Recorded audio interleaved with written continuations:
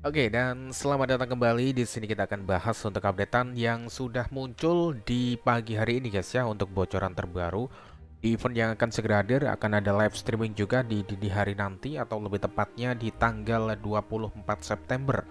Gimana kita tahu untuk jadwal yang akan berlangsung di event terbaru yang akan segera hadir event anniversary ini akan hadir di tanggal 24 September 2024 di jam 02.00 ya guys ya. Kalau di bagian sini waktu UTC di kita ini akan berlangsung di jam 02.00 tanggal 24 September tapi kalau dalam in game di sini akan berlangsung ataupun akan ada live streaming di tanggal 23 September.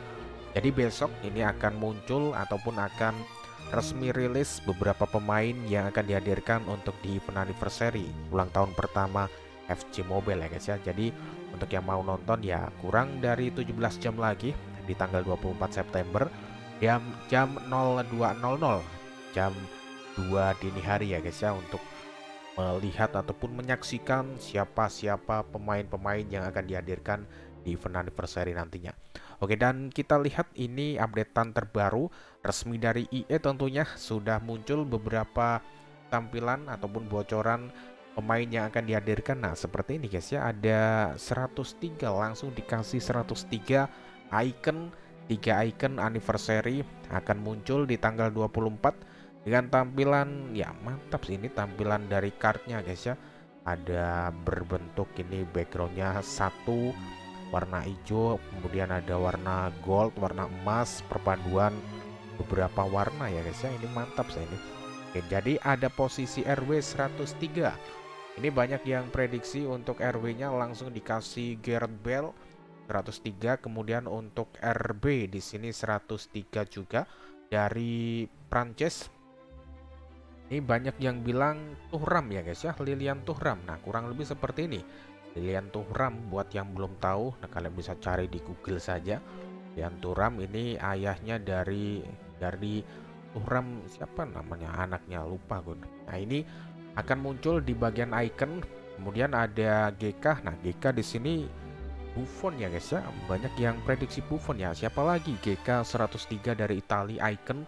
Kalau bukan Buffon karena di sini tertulis tiga icon baru yang akan hadir di debut FC Mobile versi yang 25 ini guys ya yang akan dihadirkan di tanggal 24 September. Banyak yang juga prediksi nah seperti ini ini dari Giga Game ada Bell, Turam, kemudian Buffon. Nah, seperti ini.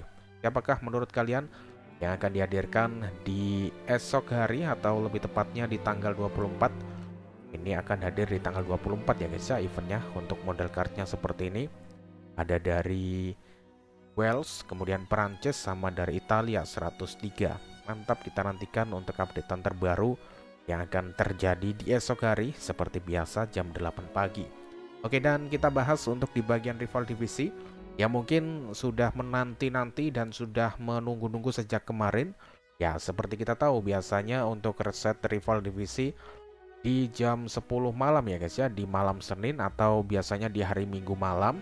Tapi untuk saat ini karena kita akan memasuki musim yang baru atau di FC Mobile 25 jadi untuk sementara ini di reset ataupun di refresh berbarengan di jam 8 pagi besok. Jadi untuk saat ini yang mungkin sudah menantikan mungkin mau gacha menggunakan token bagian sini nah ada token. Nah ini guys ya ada token universal ataupun yang menggunakan token poin kompetitif.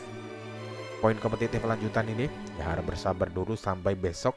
Karena biasanya memang di minggu malam biasanya jam 10 tapi untuk saat ini karena kita akan memasuki season baru musim baru 2025 jadi untuk sementara memang ini di berbarengan jadi jam 8 pagi besok ya guys ya. Baru kita dapat hadiah reset season di bagian rival divisi. Dan untuk di bagian yang ini, di bagian bagian rekrutan misterius sudah hilang dan ini pahlawan ini menyusul. Besok juga akan hilang untuk di event pahlawan. Jadi mumpung masih ada waktu buat yang mungkin mau dapatkan Marcirano gratisan di sini, entah nanti untuk pemain yang 103 apakah masih menggunakan Marcirano untuk menaikkan peringkat? Atau mungkin ada pemain universal lainnya? Ya kita tunggu saja besok ya guys ya. Kalau masih pakai Marcerano sih ya. Ya mungkin yang masih punya banyak Marcerano worth it. Tapi kalau mungkin ada pembaruan dan menggunakan pemain universal lain ya ya mungkin pasti ada ya guys ya suatu saat nanti. Oke, nah jadi untuk event pahlawan akan menyusul dihilangkan sementara entah sementara atau selamanya atau mungkin nanti di FC25, FC Mobile 25 akan hadir kembali ya kita tunggu saja. Oke, kemudian apalagi yang perlu dibahas ya seperti itu. Jadi nanti akan ada live streaming di jam 2 dini hari. Ya pasti ada kode redeem baru sini. Kemudian di bagian apalagi bintang retro. Nah, bintang retro juga akan berakhir besok ya guys ya. Jadi sisa tokennya bisa kita simpan untuk di bagian tiket bintang retro yang tiket bintang retro. Nah, di sini ini meskipun belum muncul tapi ya belum tahu juga sih butuhnya berapa. Besok akan kita bahas butuh berapa token yang bisa kita bawa kalau berkaca dari event-event sebelumnya cuma sekitar ya paling mentok 1200 atau ya mungkin sekitar 300 bijian ya guys ya dari berkaca dari event sebelumnya nah di sini cuma bisa mentok sekitar 300 tokenan. Ya kita tunggu saja besok saat ada live streaming. Jadi seperti itu. Siapa menurut kalian untuk pemain icon 3 ini? Ya kalau pemain baru ya tentunya Bell ya guys ya. Bell kemudian untuk yang RB 103 dari Prancis ini sih.